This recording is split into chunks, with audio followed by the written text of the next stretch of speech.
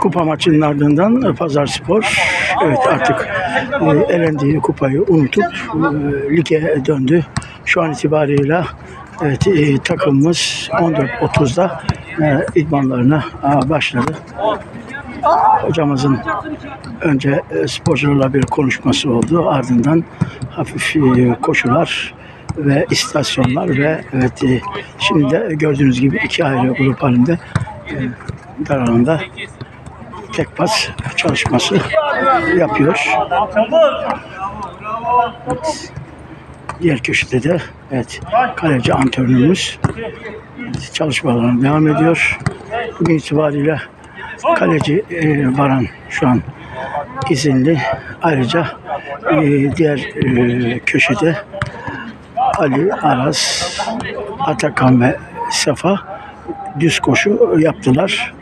Evet artık e, bütün olarak pazar günkü maça takım kenetlenmiş durumda.